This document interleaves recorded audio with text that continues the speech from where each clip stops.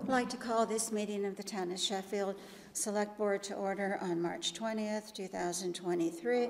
I do want to let you know that this meeting is being filmed by CTSB. If you'd like to film the meeting, just uh, let the chair know. Um, Let's get to our first item, which is the approval of meeting minutes. I'll make a motion that we approve the minutes from the February 21st, 2023, February 23rd, 2023, and March 6th, 2023 minutes. Second. Any discussion? All those in favor? Aye. Aye. We're going to skip our next item. Uh, The chief will be with us hopefully at our, our next meeting, so we'll go to number three, and that's discussion, possible action regarding proposed installation of disc golf at the town park. Andy, you're on. Okay, Come on up to the microphone and all right. Please state your name and your address, Andy. My name is Andrew Brooks. Uh, My address is 547 West Main Street, Canaan, Connecticut. Um, I just came here to kind of give people an update as far as how the, you know, the process of the disc golf course. Um, We've got nine baskets that are going to be loaned to us from the group down in Canaan, because when they closed the course down in uh, Canaan, they've got nine baskets that are ready to go. So that's huge, because now we can spend the next year collecting money to build the tee boxes, then the following year, concentrate on getting the money for the baskets, and basically giving those back to them.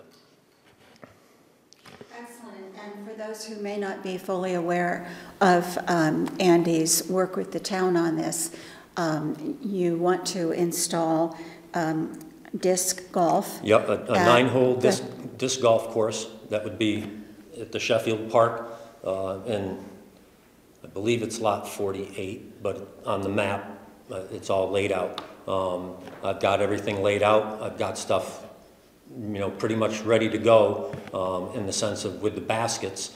Baskets usually go in first, uh, that kind of establishes one of the two points. And then as, and then as we collect the money for the tee boxes, we just start building one tee box after the other. And if we get our money like I think we will, we'll be able to build all the tee boxes this year and then have enough money next year to buy the, the, the, what will be ten baskets, nine baskets plus a practice basket, uh, for, just like a, just like a practice green at a golf course. Um, and so, all I can say is right now, things look very promising. Um, I've talked, oh, no, the board had asked you um, about fundraising. Yep. So what is your plan for that? Um, right now, it's, it's, it's just what it kind of sounds like. I'm, I'm gonna be getting the, uh, a, a list of, of at least, um, uh, businesses in town that could want to donate. Uh, I've talked to Carl Zigman, the athletic director at Monument Mountain. Um, he's got, what's called an ultimate team, which is another form of disc. It's just not disc golf, it's a different game. Uh, he's got people that are excited about that. Um, And so it's really going to be a grassroots, you know, person by person, piece by piece. Um, And so it's, it's just going to be private donations and whatever businesses choose to, to, to want to participate. Um, For example, if a, a, a business, uh, uh, Sheffield Plastics, I don't, is it still Sheffield Plastics? Oh, okay, okay, okay. But for example, any business that would, five hundred dollars, and we would put your business on the T sign saying that you sponsored the hole. Kind of like a permanent, if you've ever gone to a, a golf tournament at Egremont back in the day, where you give a, you know, they put a sign on a tee box saying sponsored by, uh, you know, Kilmer Farm or whoever. Well, this one is a permanent one. It's, it's on there for as long as the sign stays on there. So is your plan to do this um, door to door? Yeah, it's, it's pretty much going to be a door-to-door kind of thing, uh, a word of mouth. Um, We have other groups in the area uh, between Albany and Hartford that are always looking to help out a new, a new uh, uh, project. And as I uh, told you guys before, as a result of COVID, the sport of disc golf exploded. Um, They, the- their membership doubled in three years. Uh, it's- So your question to me last week or the week before had to do with the placement of a tee box. Yeah, yeah, and it, and, and I can, whoever, whether it's me and, me and Bob, I'm, I'm, I'm going to propose, this is where I'd like to put a certain tee box. If you guys say, we don't want it there, it won't go there. And I've already got kind of a Plan B in case you guys say no. So, again, it's, it's all just whatever, you- whatever you guys allow me to do. I'll say, this is what I'd like to do. If you guys say no, I've, I've got a Plan B set up already. So again, we're, You've shared Plan A with us before. Yeah, yeah. Because we've seen that, and I think if I remember correctly, this was going to be accessible. This was going to be an accessible course with the possibility of maybe one hole that goes up a hill or something. Yeah, well, well, no, actually, the, it's, it's only gonna be a couple of holes that would be, as far as kind of any kind of hand, you know, what- what you were talking about, like handicap accessible or? More reach, wheelchair or. Yeah, yeah, see, accessible. wheelchair, wheelchair wouldn't be able to go up into the, because this course goes up into the rocks and whatnot. So at this point in time, you would be able to play one basket, no problem. And the way I've got it set up is you'd be able to use the existing path. Right, Um, And then the second one, depending on where the tee, uh, the basket is placed, we could probably get two holes. And then the ninth hole at the very end would also be a, pos- so there's, a- there's three holes that somebody could do. But again, it's a, uh, that- that's a tough task unless it- you were- had a park that was already established with sidewalks and all the, all the, you might say, all the amenities of a, of a large park. Because to put in nine holes, you need some acreage. right. Um, So I, I, I just want to bring up the idea that maybe just the board needs to discuss it a- a little bit. So far, this town has been very reluctant to give any naming rights to anything. And I know a tee box sounds very small, but years ago, we had the issue with someone wanted to, to pay for the parking lot when it was, neither of you were on the board, but they wanted to pay for the entire parking lot to be paved. And they would name it after someone. And the board did not, did not accept it. So I just want us to think whether, I don't think it should stop you. We can come up with some way to acknowledge people who have contributed, but I just want the board to think about that, whether we're- we're opening a little bit of an issue with someone who donates wanting to be, you know, um, have naming or, or whatever, but, How did but the we'll worry about that. Sidewalk out here become named, because there's plaques dedicated. They Those were this. pavers that we used to build the whole thing. You could buy, everyone could But- buy a thing for two hundred dollars. Wouldn't the pavers be similar to what they? I don't know. I'm just bringing the issue up because we have had naming issues. I don't disagree with you on that. It could very well be that it's something similar, similar to that.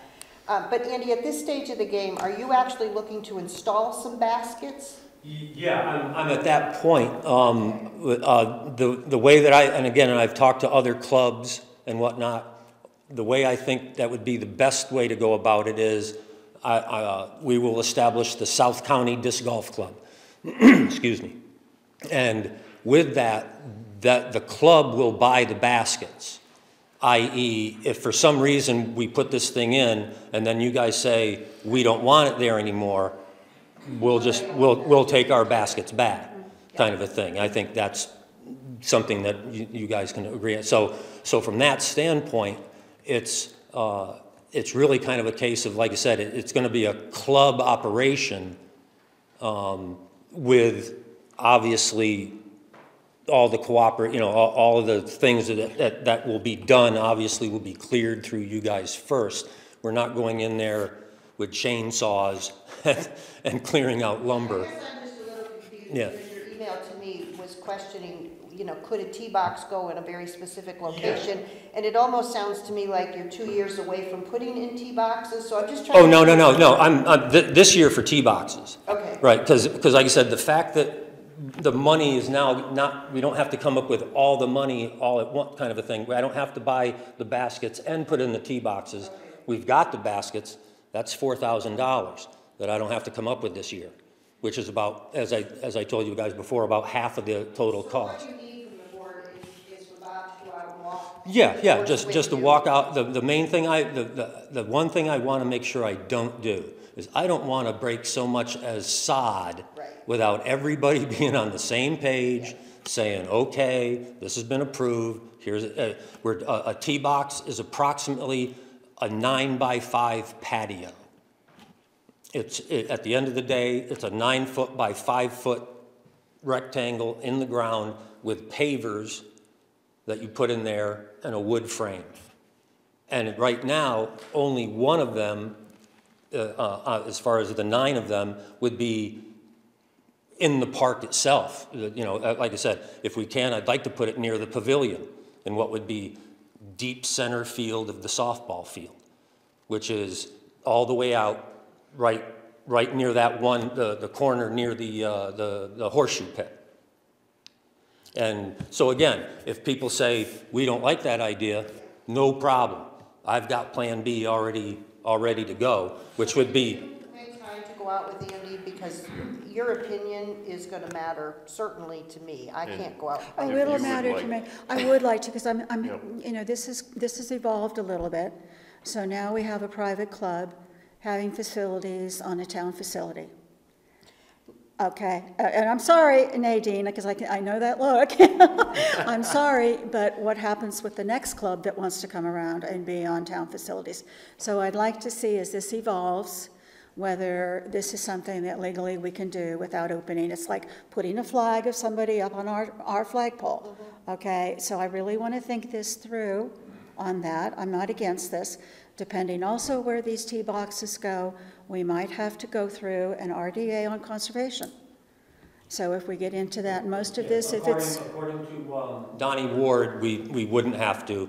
so because- he's walked the course. Yeah, yeah, Don- Donnie has gone out with me, because when we talked about everything, we were gonna use Okay. the lower land, and that's when we talked about wetlands and RDAs. Okay, fine, so And when, but when, when we walked the, the rocks, he said, the beauty about this is, we don't need permission to do anything. Okay, good. So Was, you're was right covering out of his base. mouth, so, You're covering a base that I was Yeah. thinking was going to need to be covered. Yeah. So we have a few more bases to cover. Yeah. When you are walking with Bob, I'd love to go with you. sure. You you know, we do have plans to try and get more accessible pathways out there Mm-hmm. in the park that might, with the two of us, if that's going to be a problem for you. No.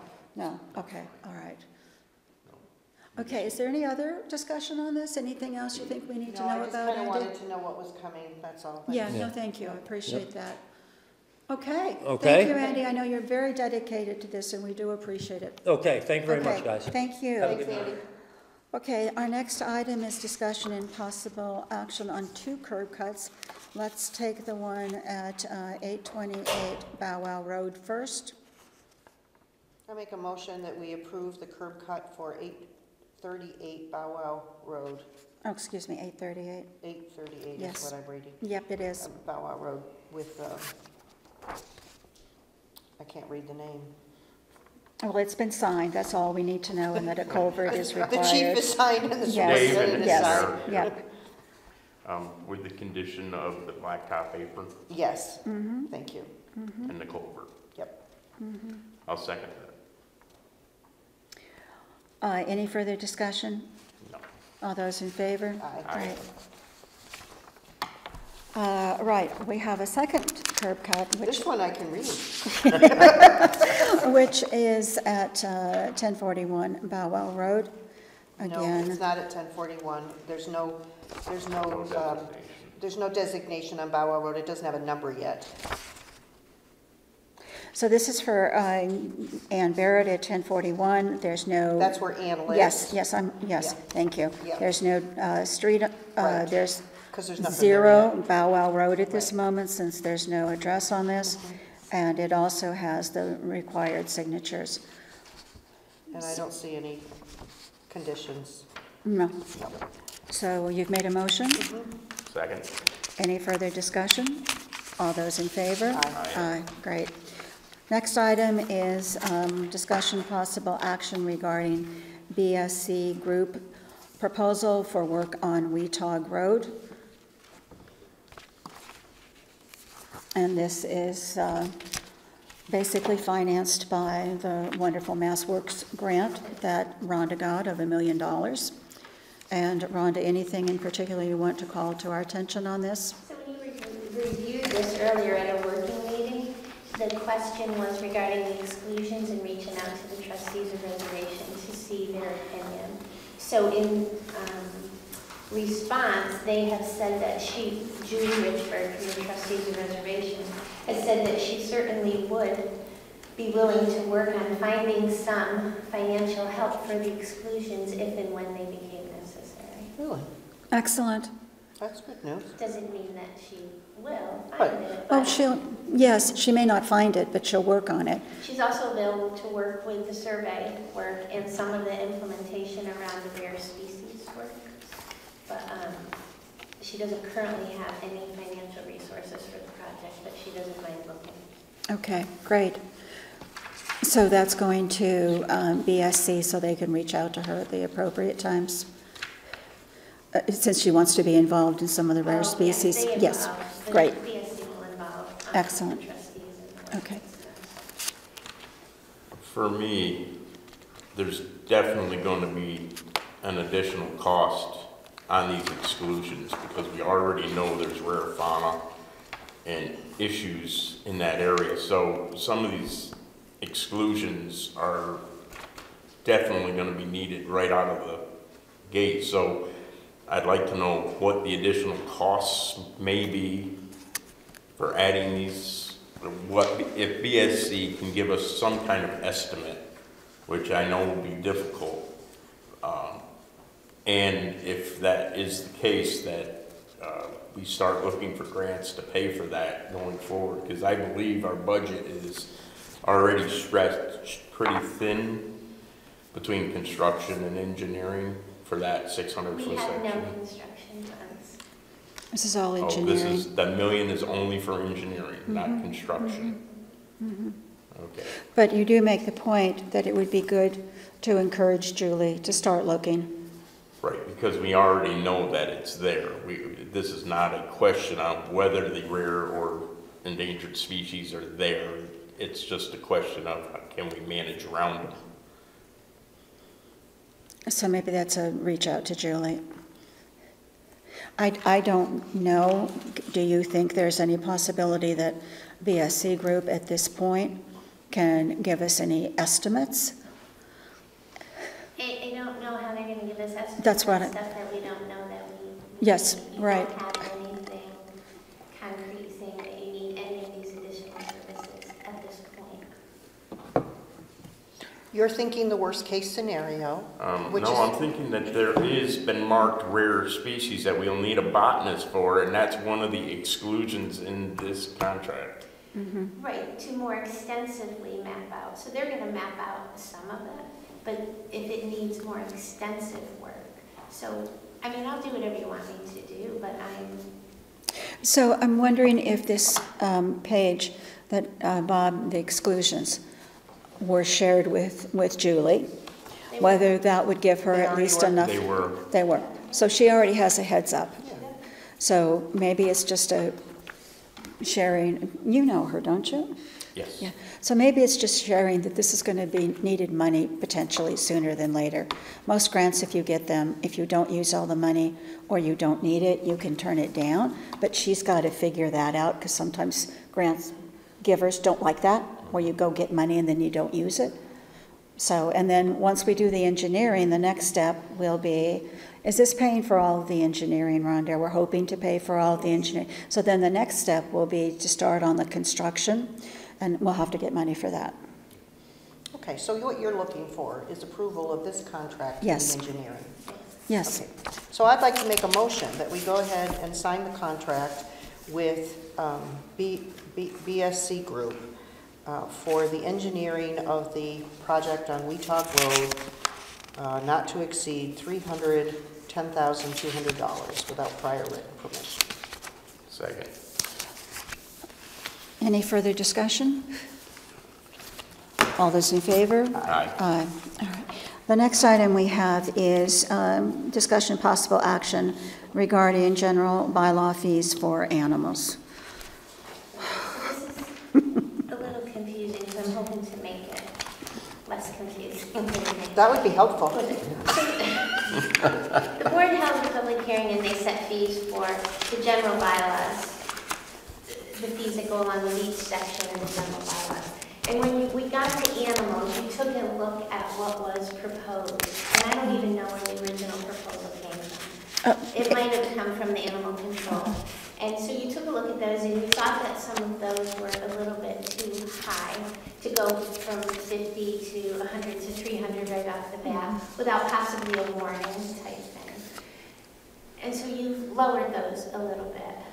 But you don't have a general bylaw that allows our animal control officer or anybody else in town to enforce what you've set fines for.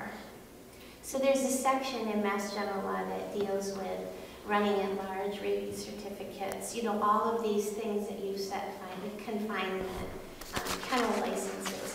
Um, So you have to decide if you want to put a, forward a vote to use, to follow that bylaw and to allow our animal control officer to enforce that bylaw. And if and when you do that, there are fines that are set by the state, which is what the original ones that you looked at, that cannot be changed. And basically, the first is 50, the second is 100, and the third is 300, and fourth and fifth is 500. So what we had also discussed, and I don't know if we've heard back from counsel, since these are mass general bylaws, do they already apply to us? Or do we have to adopt another thing? It says that we can adopt stuff that's consistent with those mass general bylaws.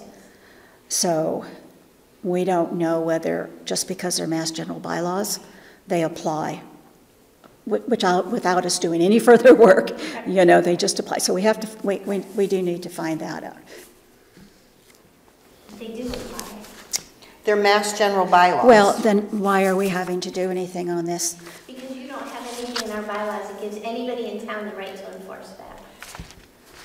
So what are you asking us to do? I'm very confused as to what it I'm not is. asking for any action, I'm making you aware. I, You can't use these fines at all with the way you set them, and you can't use them unless you give someone the authority to regulate that section of the bylaw. Well, currently, it's given to the clerk. This bylaw, this mass general law gives it to the clerk. That's probably not the person we want to the have have clerk it. meaning the town clerk? Uh, It just says the clerk. I'm sorry, I don't write this stuff. It just says the clerk. Okay, So, It just, it needs more work. okay. And understand that when the bylaws come back from the Attorney General and you're ready to implement the fines, these sections of fines are null and void. Okay. yes, yes. Thank you. And it'll come forward again to, to. Yeah. Yes, thanks for the I'm not, I'm update. glad I'm not the only one that felt we were in the mud a little bit there because, It was very foggy. yes. remember when we recodified mm-hmm. the general bylaws that we're still wait- waiting to hear about from the Attorney General?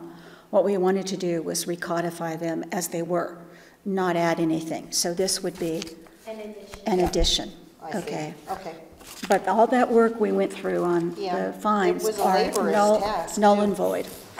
Okay, so that's a to-do. another job.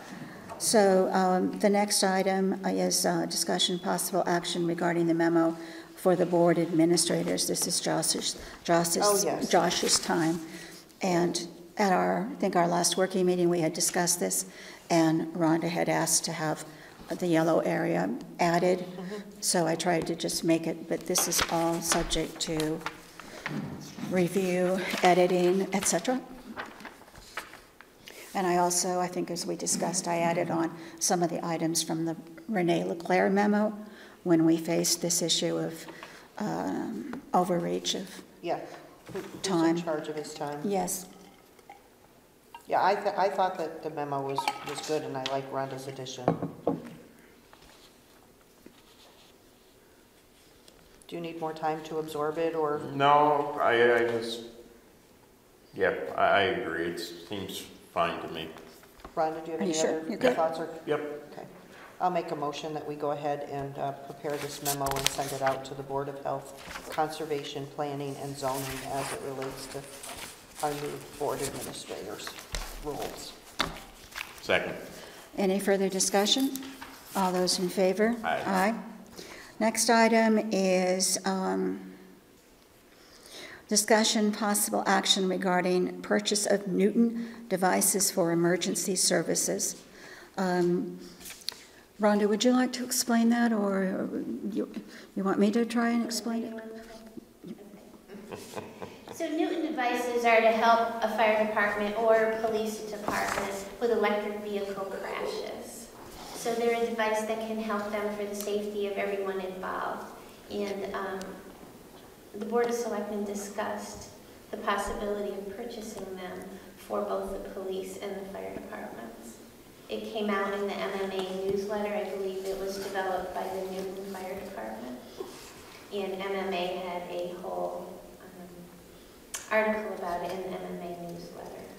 And And so we reached out to um, Chief Aller, and he thought, he said that the conversation had come up with the officers in the fire department because they've already had an accident that involved an electric vehicle. Apparently, they don't shut off always.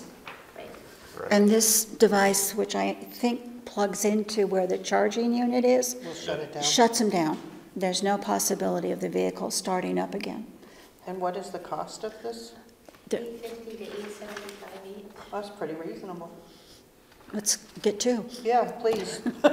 So I'll make a motion that we uh, order two Newton devices, one for fire and one for the uh, police department. Would you like to add on how we're going to pay for these? Oh, sure. Why don't we take that money out of the Berkshire School account since it's for public service? Thank you. Thank you for, thank you for the nudge. I, I will second that. Um, I would like to say that, for discussion, that uh, electric vehicles come with their own certain set of new issues, especially fire-related or accident-related. Um, And part of that was why they were developed, because they could go into gear and start up on their own after an accident because it causes a malfunction. This doesn't kill the power totally, but it kills the mechanism for the car. Okay, thank you for that clarification. So, Good. but Okay. It does make our police and fire safer. Safer. people much safer. Yep. Uh, Okay, so we have a motion and a second. Any further discussion? All those in favor? Aye. Aye. Aye. And uh, next item is discussion possible action regarding EDM, which is an architectural firm, uh, model for town hall. You want to explain this one also to us, Rhonda, please? So we about a space needs for the town hall building, thinking that possibly we would want to refinish the upstairs third floor of town hall. And when they came in, they took a look at what we have and told us that there's more than enough space, depending on how it was arranged. And so they've come up with um, a couple interesting proposals. And so we were working with them to get a finer design that we could really look at. In the meantime, we sent EDM the structural report for the building, and a structural engineer has come out and he's going to do up a report which prioritizes any issues that we may have. He did say that we do not have any major issues, that there are some small issues in the building that should be correct, but he was very surprised and happy to say that our building is very sound and safe. That's good. Um, So I'm going to propose that before you make a decision on how you want to do the model for the renovations, is that we wait until we get that structural report. And they're going to mesh the two together and kind of come up with a, a list on what should be done first, prioritize the list, and then put a cost to each one. So before you make any decisions on this, I'd like to have both of those reports in. Okay, so we'll put just a hold on this for the time being. Okay, great. Our next item is um, discussion possible action regarding centenary celebrations. It's been brought to my attention, and- and Nadine, you probably already know this from the senior center, that Anna Leffingwell is going to turn 100 in April. She's currently in a long-term care facility in um, Great Barrington. And then we have a second um, person, uh, uh, Sally Cook, who's going to turn 100 in, in December, so we have a little bit more time on that. Um, But I'm just wondering if, um, I don't know if uh, Anna attends senior center events at this time or is more in place at the long-term uh, care facility, but I'm just wondering if this board would like to do something special, like maybe a card or possibly some flowers that could be delivered by one or more members. I mean, this is a big event. It is a milestone. It is a huge one. Yeah, I mean, I'd love to, um, to acknowledge the, uh, the birthday, but um, are we allowed to spend town money on such things? That's always I'll the I'll pay, question. I'll pay for the flowers. It's it's fine, I'll pay for the flowers. Okay, then I'm You know, fully in support you know, of and it. I'm- And I'll get the chime card. in, too, I- a I'm just wondering if there would be something, again, your position at the senior center and the head of COA, whether there's people that you'd like to have start signing that right now. I can certainly ask Kathy So to it has deal a that. really nice Sure. List of people. I, I think her birthday is April 9th, but Okay. I'm not positive. I'll find out. I'll get right Um, on it. But uh, I'll take care of the flowers, no problem. Okay. Okay? If we want to do a birthday cake, yeah, I can make a cake make a too. I can make a cake too. If somebody else wants to do that, okay, wonderful. So um, our next item is the discussion, um, possible action regarding request to use the covered bridge for a ceremony. We all have that information in our packet. I thought this, the request was a little vague. Do we know what kind of Uh-huh. ceremony? Oh. Yeah, Yeah. yes, yes. Do we know what kind of ceremony this is? Yes, Oh, it's a wedding ceremony. I'd like some more details. Did she say kind of? That's what I thought I heard.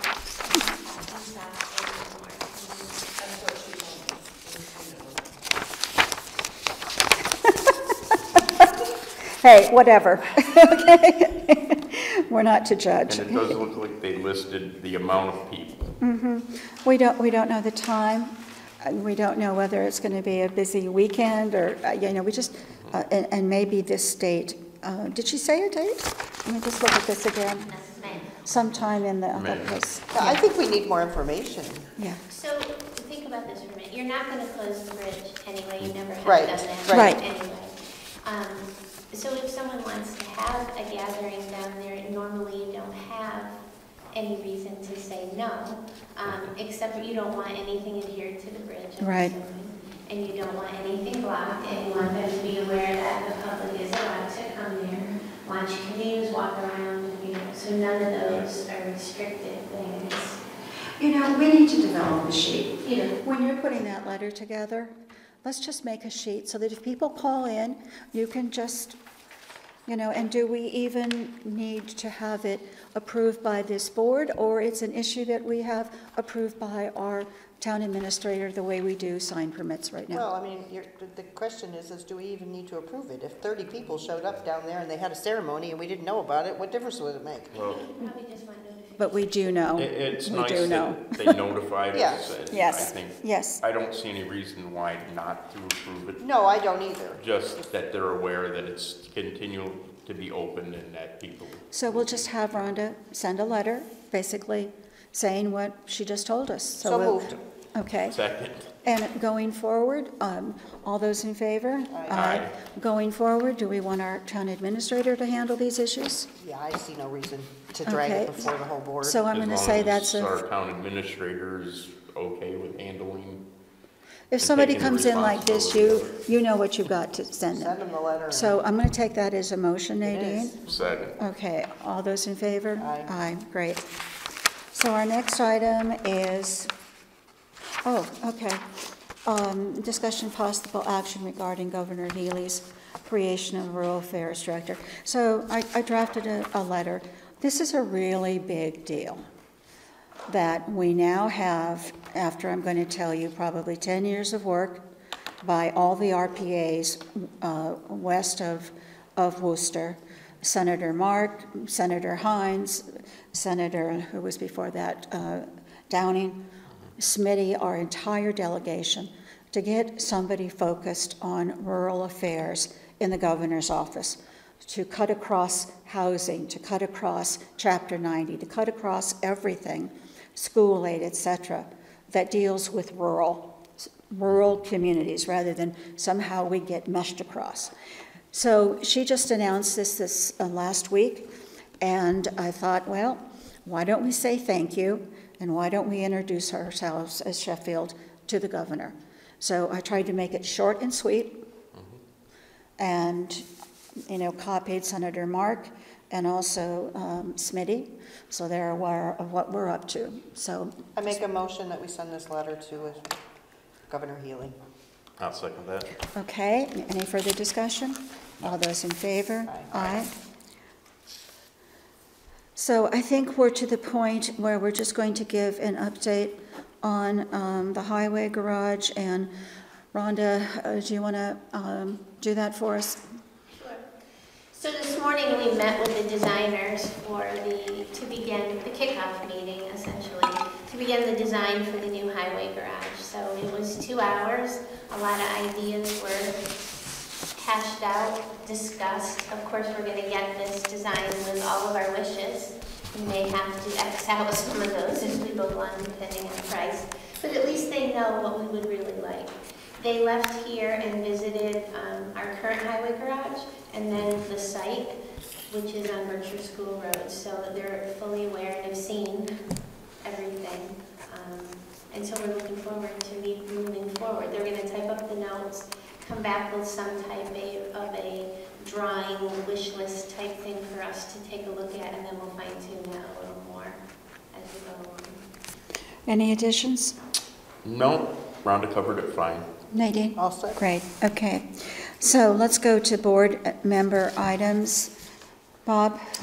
Uh, I'd just like to give, uh, some credit to our fire department for this last snowstorm. I know it was back a little while ago, but they not only assisted with the Mount Washington rescue, they also were managing calls in our own town at the same time. We just have an incredible deep pool of people that There were most a lot of calls that day. there were a lot of calls, and we just have the depth of youth all the way through very experienced people, and uh, I'm very proud of them.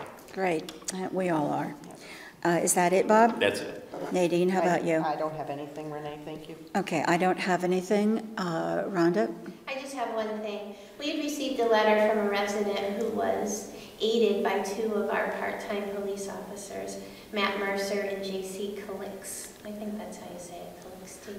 Um, who stopped and helped some woman above and beyond and made sure that she got her car not only started, but waited with her and, and, and got her home safely. And it's not often that we receive a nice letter acknowledging employees done such a great job. And so I want to just extend a thank you to both Officer Mercer and Officer Colex, and maybe even a letter from the Board of Selectmen maybe. Yeah, Wonderful. I think that would be a great idea. yeah. Great. Individually to each of them, I think would be a nice idea, for sure. Wonderful. Yep. All right, um, how about um, public comment? Martin? Martin Mitzoff, South Thunder Mountain Road. Uh, I just want to take this opportunity to uh, say happy spring, first day of spring. We've, we all deserve it. Um, And also that the Crossroads exhibition, the Smithsonian Crossroads exhibition, is going to open up um, on Sunday, May, March 26th, run through May 6th, about six weeks. Um, This is an incredible, incredible uh, badge of honor for the town of Sheffield. It's a Smithsonian exhibit um, that has traveled through five previous towns in Massachusetts. We were one of the lucky ones as well to get awarded the, the exhibition. It's also an incredible opportunity that our li, our library director has reached out. We've got related exhibits at Dewey Hall. There's an art show, a juried art show that's taking place there. There are a number of uh, presentations that will also be taking place at Dewey Hall. We're working with the Historical Society. We've reached out, really, the trustees and the director have reached out and, and really made this a very community-oriented event. Um, There's full information on this on the Bushnell Sage website. There's a special web page devoted to Crossroads. And I encourage anybody in the community and anybody outside the community uh, to, to come and take a look at this. It's, it's a wonderful exhibit. And it really talks about what, ha- what has happened in rural America over the last hundred years or so. What are the changes that have taken place? What are people's perceptions about those changes and how have they adapted? Um, Really uh, an illuminating event. So thank you. Um, Any questions, reach out to us, to me, or to our library director, Dina Caswell. And I think this didn't happen by luck, Martin. It happened by a lot of work, by a lot of people. Correct. In an extremely competitive situation. Yep. To bring this to Sheffield, so kudos to you. Thanks. And the- the folks that helped, along with the library director and the trustees. Thank you. Thank you. Barb?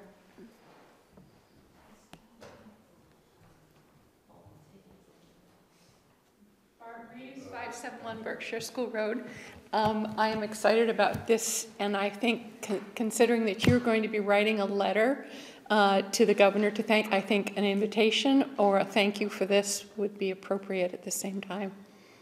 Well, you know, Martin, I don't know how many of us at this table are going to the Senator Marks uh, uh, event on Saturday, but if you can give, get me some small posters or even a couple of somethings, I'll take it with me and I'll hand those out. Oh, yeah, that's okay. Give me, a- give me about six of them.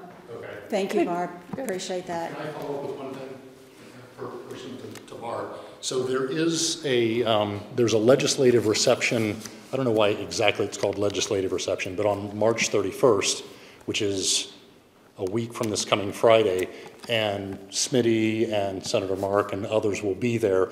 And Barb had mentioned to me about inviting the, the rural, um, sorry, the Rural Affairs Director.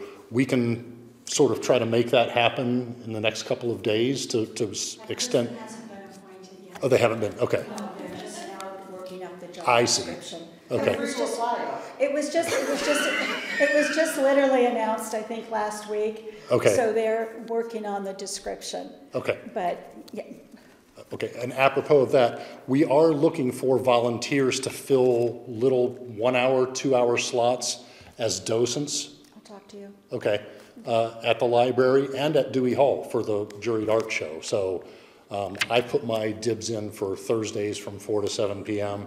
There are plenty of slots open, and we're still looking for those volunteers, so, thanks. Okay. So the community should contact the library to offer their services. And, yeah, you can either call the library or come in, we've got a calendar where you can actually fill in the little. Excellent, sounds like fun. Any other? Any more pu- public comment? All right, then I would ask for a motion to adjourn. So moved. Second. All those in favor? Aye. Aye. Thank you for being with us this evening.